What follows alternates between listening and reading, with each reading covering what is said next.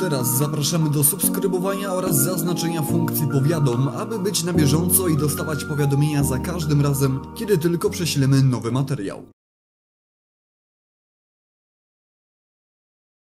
Zwracaj uwagę, tak jak powiedziałem, żeby po znakach poziomych starać się nie jeździć. Wyrabiamy sobie od samego początku dobre odruchy Te miejsca mają ograniczoną przyczepność. i pamiętaj o tych elementach, o których mówiłem. Nie najeżdżamy centralnie, pojechałeś po pasach, nie najeżdżamy na znaki poziome, wyrabiamy sobie odruchy, bo już jak sucho, to nie ta przyczepność, tak? A po deszczu tym bardziej. Śliskie jak płyta poślizgowa. Tak. To elementy tak zwanej strategii ulicznej.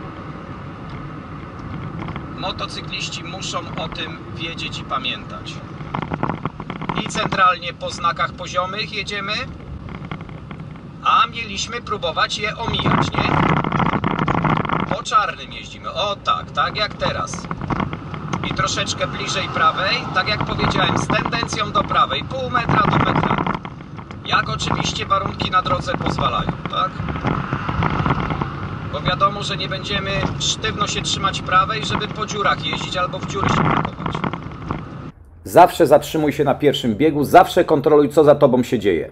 I zatrzymanie z kontrolą tego, co się dzieje za nami, zawsze na pierwszym biegu. Po zatrzymaniu na lewą nogę schodzimy, zatrzymujemy się, jeżeli to jest potrzebne, w takiej odległości od przeszkody czy pojazdu, żeby w razie sytuacji, gdy ten za nami nie wyhamuje, żebyś mógł ominąć, uciekać, mieć gdzie uciekać, tak? Ominąć przeszkodę, e, do tego jest nam potrzebny odpowiedni odstęp przy zatrzymaniu, jak również odpowiedni bieg, czyli bieg numer jeden. Kiedy możemy zrzucić na luz? Jak za nami pojazd dojedzie, zabezpieczy nam plecy, wtedy możemy ewentualnie zmniejszyć dystans od pojazdu, który stoi przed nami i zrzucić sobie na luz. I przygotowujemy się do zatrzymania, czyli zerkamy co za nami się dzieje w lusterka, redukcja z międzygazem, zatrzymanie na jedynce w takim miejscu, żebyś mógł ominąć pojazd, jakbym za tobą nie wyhamował na przykład. No, ominąłbyś? Jakbym się nie zatrzymał? Miałbyś miejsce? No nie, no właśnie. No, no to o tym właśnie mówię, tak? O tym właśnie mówię. Że nie jesteś w aucie, nie masz klatki, kurtyn, poduszek i tak dalej, tylko jesteś uczestnikiem ruchu niechronionym. Przyjmujesz na plecy yy, uderzenie, tak? A jak jeszcze to będzie duży pojazd i się spotkasz z tym przed tobą, no to i na plecy, i na twarz przyjmujesz uderzenie, tak? Pozycja na pasie ruchu i odległość od auta taka, żeby móc uciekać. I dlatego bieg pierwszy, zatrzymanie na jedynce.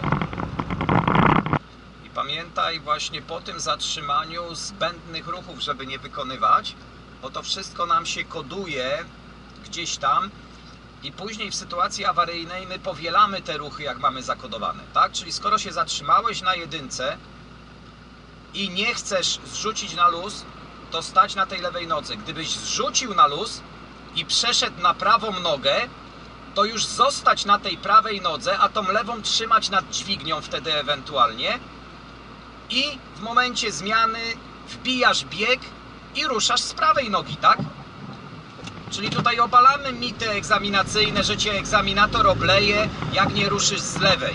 Nie, ty masz wykonywać po zatrzymaniu jak najmniej zbędnych ruchów.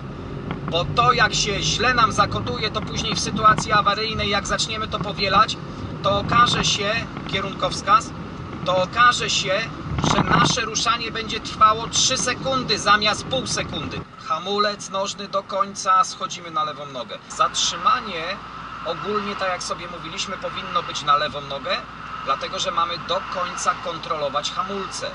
A łatwiej będzie e, zatrzymać się yy, z łatwiejszym elementem równowagi, łapania równowagi, jeżeli przed zatrzymaniem korzystamy z nożnego hamulca. Tak? Koniecznie kontroluj martwe pole. Czyli rozpoczynamy zmianę pasa ruchu, ale chciałbym, żebyś zerknął w lusterko, później skręcił głowę do ramienia, jedziemy o kolejny, czyli sprawdził martwe pole i dopiero zmieniał pas. Kierunkowskaz, kierunkowskaz zmieniamy na lewy z kierunkiem. Czyli kierunkowskaz, lusterko, broda do ramienia, czyli sprawdzam martwy punkt i dopiero zmieniam. I tak na raty sobie, tak? Czyli w pewnym momencie prostuję ten motocykl, ustawiam się równolegle do pasa i zaczynam kolejną zmianę, dobra? Pamiętajmy, że jesteśmy niechronionymi uczestnikami ruchu. I następna zasada, która tyczy się doświadczonych kierowców, to zielone światło. Jak zbliżam się do zielonego światła, to kierowcy doświadczeni mają tendencję zdążę. Ty musisz, patrząc na to zielone światło, zastanawiać się, kiedy się ono zmieni, tak? Że ono za chwilę się może zmienić. Nie znasz skrzyżowania, nie wiesz, jak długo jest wyświetlany zielony sygnał, tak?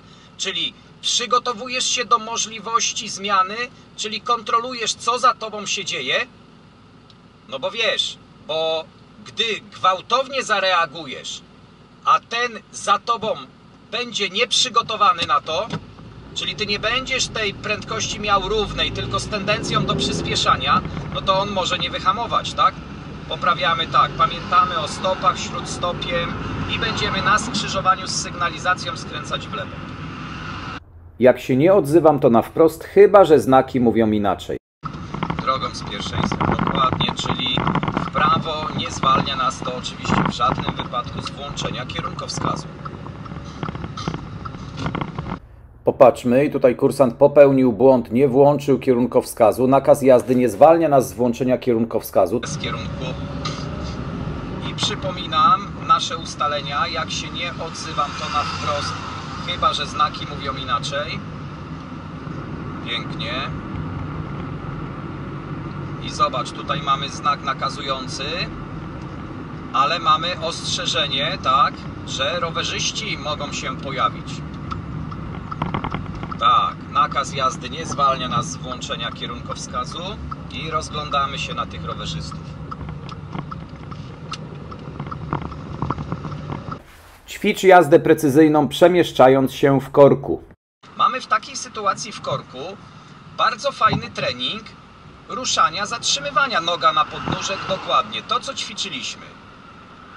Ale najpierw zatrzymujemy, potem wystawiamy nogę. I pamiętaj, ta noga ma być stawiana blisko motocykla.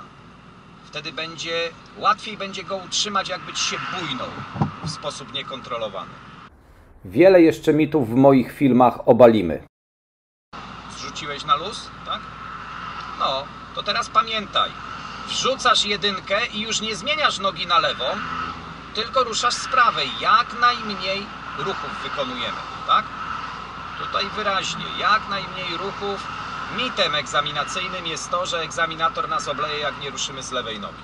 Możemy ruszyć z dwóch nóg, możemy ruszyć z lewej, możemy ruszyć z prawej. Nie ma to znaczenia. Zatrzymanie ogólnie, tak jak sobie mówiliśmy, powinno być na lewą nogę, dlatego że mamy do końca kontrolować hamulce. Łatwiej będzie e, zatrzymać się e, z łatwiejszym elementem równowagi, łapania równowagi, jeżeli przed zatrzymaniem korzystamy z nożnego hamulca. Tak? Jak się podoba, laj- lajkujcie, subskrybujcie, żebyście byli na bieżąco z moimi filmami. Już teraz zapraszamy do subskrybowania oraz zaznaczenia funkcji powiadom, aby być na bieżąco i dostawać powiadomienia za każdym razem, kiedy tylko prześlemy nowy materiał. Zapraszam na kolejny odcinek. Będziemy omawiać trasy egzaminacyjne, jak również strategie uliczne, bo to nasze bezpieczeństwo.